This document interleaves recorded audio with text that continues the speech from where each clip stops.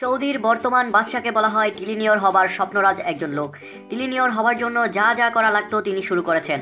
আপনি যথেষ্ট স্কিল নন, আপনি বাসা জানেন না। এই অবস্থায় একটা বিষয় নিয়ে চলে আসাকে আমরা বলি হাত পা নিয়ে চলে আসা। হাত পা নিয়ে এসে আপনি পায়ে হেঁটে হেঁটে পথঘাট, উড়াল সেতু, নিয়ন বাতি দেখতে পারবেন। এই মুহূর্তে চাকরি পাবেন না। অনেক কাঠকর পুড়িয়ে কয়েক মাস পর যদি একটা চাকরি পেয়েও যান, বেতন হবে সর্বোচ্চ পনেরোশো রিয়াল মানে বাংলাদেশের তিরিশ হাজার টাকা। আপনি যদি কোম্পানির বিষাতে না হয়ে তথাকথিত ফ্রি বিশাল লোক প্রতি মাসে আপনার খরচ আছে পনেরোশো রিয়াল। নতুন ঘোষণা মতে জানুয়ারি দু হাজার আঠারো থেকে প্রতিজন প্রবাসীকে চারশো রিয়াল করে রাজ খাজনা দিতে হবে। যদি সত্যি আইনটি কার্যকর হয়ে যায়, এই রাজ খাজনা যোগ করলে আপনার মাসে খরচ দাঁড়াবে উনিশ শত রিয়াল। তার মানে বাংলাদেশের টাকায় আটত্রিশ হাজার টাকা।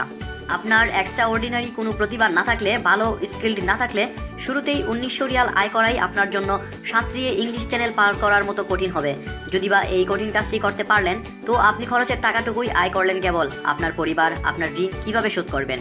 যে প্রক্রিয়াতে সৌদি আরব আগাচ্ছে, আগামী কয়েক বছরে প্রবাসীর হার দশ পার্সেন্টে নেমে এলে অবাক হব না। কারণ প্রবাসী শূন্য করার সব রকম কলা কানুন সম্পাদনা করা হচ্ছে এবং হবে। একদিকে বিষা খোলা রেখেছে, এটা তাদের আয়ের একটি উৎস।